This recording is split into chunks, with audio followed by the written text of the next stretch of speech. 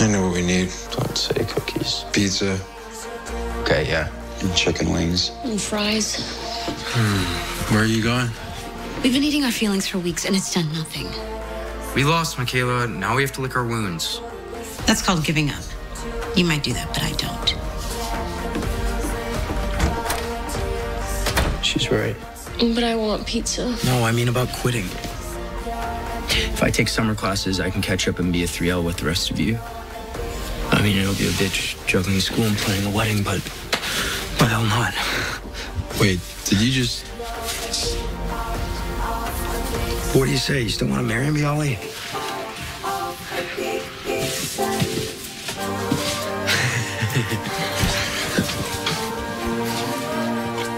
You're the one that called it off. Well, let's call back on.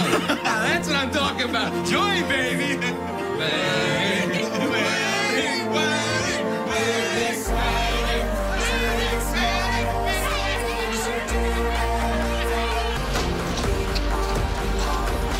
Hey there. What is this? I went through your phone records, bills, all of it, but I can't figure it out. So I decided to just come here and ask you your face. How'd you know Christoph?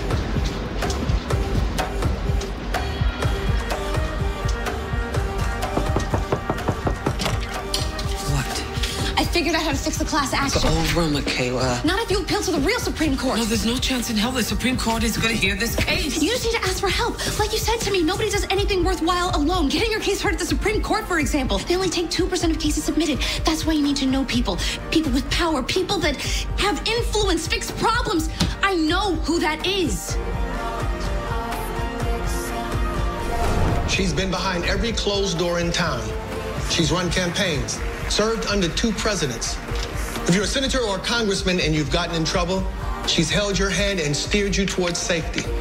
She was arguably the most powerful person in this country, and still, shockingly, she's agreed to come talk to us. And so, without further ado, I give you our newest guest lecturer,